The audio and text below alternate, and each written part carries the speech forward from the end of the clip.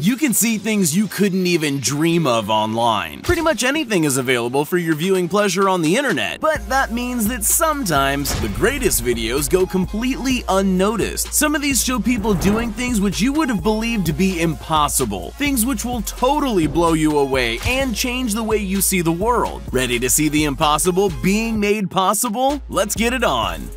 Skydiving is dangerous. Sure, it can be done. Maybe you even have a friend or two who've done it. But things can and do go wrong, like your parachute not deploying. If that happens, then you're in serious trouble. With that in mind, it's definitely impossible to jump out of a plane without a parachute, right? Well, Luke Aikins decided to prove it's possible, even though we all know it's not. He jumped out of a plane at 25,000 feet in the air without a parachute or a wingsuit.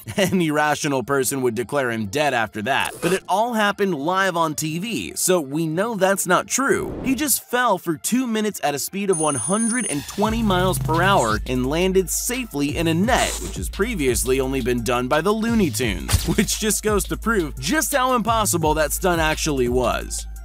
You've seen old kung fu movies where people break wooden blocks with their feet or fists. It's a hugely impressive skill. One karate chop and that plank is history. Ever seen someone do that to a concrete block though? Now that's really a level up. Some people can do that in the traditional way, but this Bosnian Taekwondo champion can do it with his head. That alone should be impossible, but he can also do more than one block at a time. He holds an absolutely insane world record for breaking an impossible 111 concrete blocks with his head in only 35 seconds. And he was only 16 years old at the time. Every part of that record sounds impossible. Even just the basic premise of being able to break concrete with your head, but he did it anyway, and the crowd absolutely loved it. Literally, he smashed it with his head.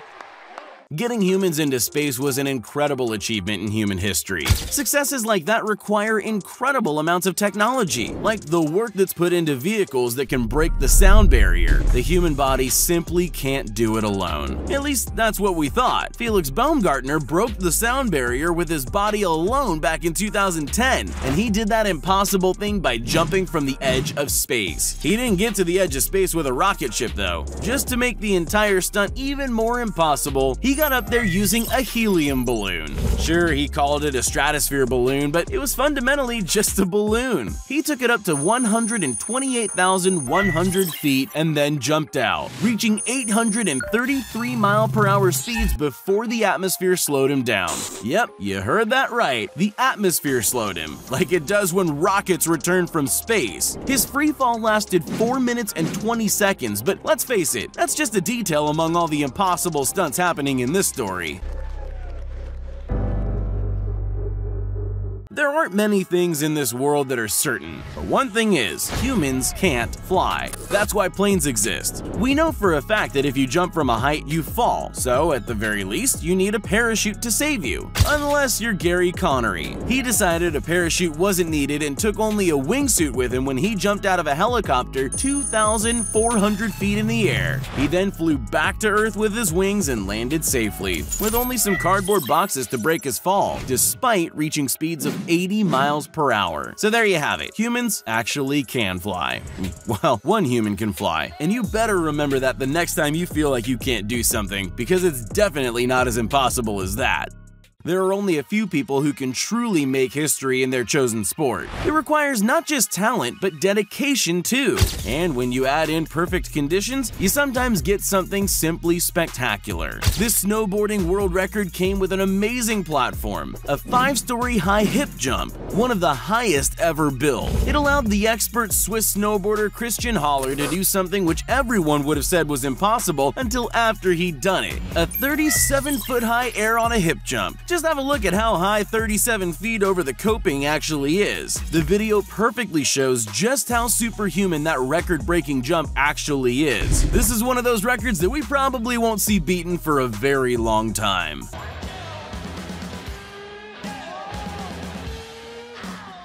No matter how good you are at something, there's a limit to what can be achieved. You know, the fastest or highest or hottest something can possibly get. After that, you're heading into the realms of the impossible. Some people don't care if they're attempting something that should be impossible, and they just do it anyway. Kyle Wester stepped, or rather skateboarded into the impossible, and smashed the record for fastest skateboard speed downhill. If you're thinking you can't really go that fast on a skateboard, oh, think again. His speed was a terrifying 89.41 miles per hour. It smashed the previous record of 81.17 miles per hour, which already sounds like an impossible speed. So even people who create impossible records aren't safe. There's always someone out there waiting to outdo them.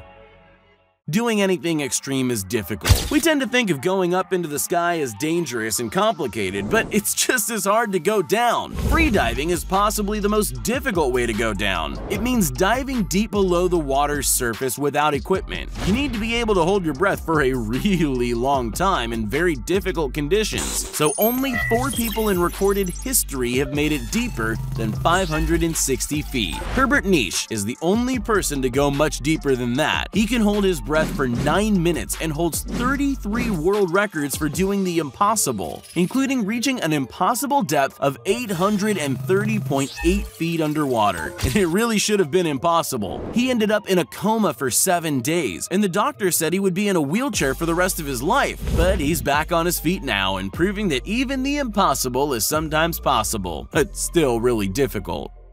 There's a stereotype that people who have a disability can't do things nearly as amazing as people who don't. But there are people who couldn't care less about a stereotype and achieve the impossible just because they can. And when I say impossible, I mean impossible for anyone. This is Aaron Fotheringham, and he's more of an adrenaline junkie than you. He's quite clearly one of those people who doesn't understand the word can't, and rightly so, because he can obviously do anything he puts his mind to as this video shows. This is him in his wheelchair, pulling off a perfect 50 foot front flip. None of us could do that with the use of every limb on our bodies. Should that be impossible?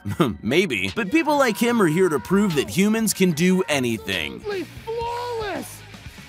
Anything that puts you at the mercy of nature's elements is incredibly dangerous. Parachuting is one of those things, and it requires an incredible amount of skill to be able to keep control when you're being moved by the wind and air currents. This guy has just got to be supernatural, because wind seems to have no power over him at all. He can parachute with perfect elegance onto a seaside cliff and float gently down to find himself seated on a bench, enjoying the scenic view like it's no big deal. He lands in a way that makes it look like he's been relaxing there for hours. Definitely not like he's just fallen out of the sky. We can only dream of that kind of composure. It's impossible for the rest of us mere mortals.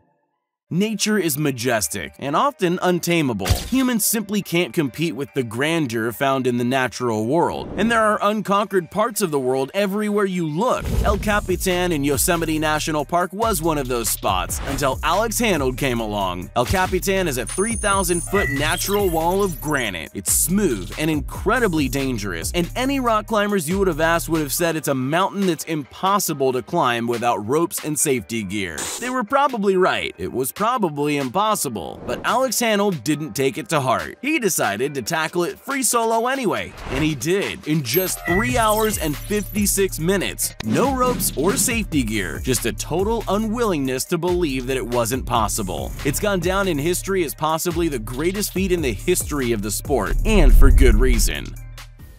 The best sportsmen have highs and lows. Sometimes they make mistakes that nobody can believe can happen on that level, but sometimes they have such a great moment nobody can believe what they've just seen. Uruguayan tennis star Pablo Cuevas has a habit of pulling off impossible shots. In the middle of difficult rallies, he often responds with nearly impossible shots, like this no-look forehand. And before you think that was just luck, he's won points with no-look shots before, like this one on the first day of Wimbledon 2019. His no-look winning shot isn't the only impossible shot, but it might be the most impressive, especially given the accuracy of it. It's not every day that you face an opponent who hardly needs eyes to win a tennis match, so anyone playing against him must get pretty nervous. Have you ever noticed that when you get bored, you sometimes go out of your way to make things difficult for yourself? People usually do that in little ways, but some people go all out. This group of YouTubers go by the name How Ridiculous. They're widely known for their crazy trick shots, more specifically, a stunt they do where they skip a dart across pallets and still hit a bullseye. Every time they hit the target, they add a few more pallets, and this time it's an incredible 10 pallet dart skip. Of course, any normal human who finds it difficult to hit a bullseye without also having to navigate 10 pallets would think this would be impossible. But these guys have never heard the word impossible. They just set everything up perfectly and do it.